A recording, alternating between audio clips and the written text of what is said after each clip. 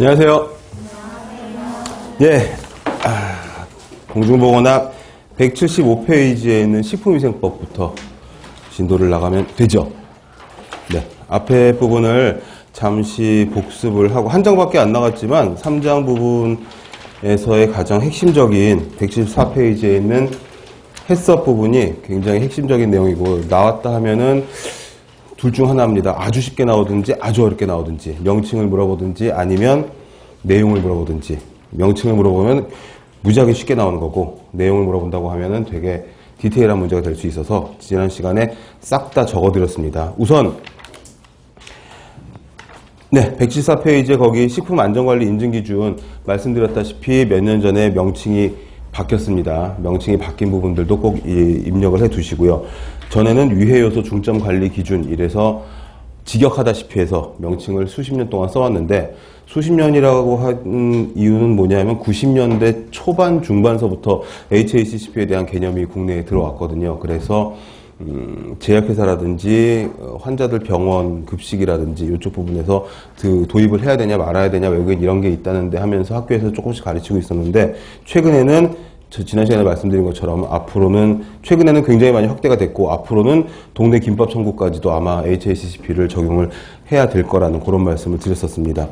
암튼 HACCP의 약자를 다 체크를 하시고 이게 명칭이 공식적으로 바뀌어서 식품 안전관리 인증 기준이라는 말로 바뀌었고 인증 기준이라는 말로 바뀌었다는 건 뭐냐면 HACCP 기준을 득해야지 그 기준을 넘어서야지 세제 혜택이라든지 위생 검열의 혜택이라든지 이런 것들이 있고 위생적으로 안전하다는 입증을 받은 그런 예전으로 치면 KS나 이런 마크를 받은 거에서 소비자들이 안전하게 마음 놓고 식품을 고를 수 있는 기준이 되는 건데 마 문장이 굉장히 길죠. 근데 아무튼 간에 몇 달 전에는 해썹 인증을 받은 양계장의 달걀에서 살충제 검출 판독이 있고 막 이래서 아직까지도 이쪽이 좀 루즈한 게 아닌가 하는 그런 의심이 또 들고 있고 합니다.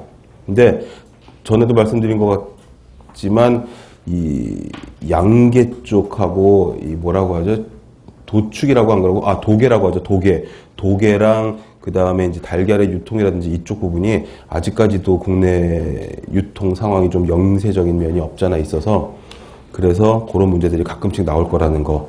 그리고 이제 본론으로 들어가면 HACCP의 정의는 말 그대로 식품의 원료 단계에서부터 식탁에서 사람의 입에 들어가기 직전까지의 모든 단계를 다 분석을 해서 미생물학적인 온도, 수분, 그 가열 조건, 멸균 조건 이런 것들을 다 체크를 해서 그 단계별로 위험을 감소시키자는 그런 게 핵심이고 동그라미 니은번에 있는 일곱 가지 원칙 요거 다 필기를 해드렸으니까 다시 한번 정리를 하시고 꼼꼼하게 보시면 좋겠습니다.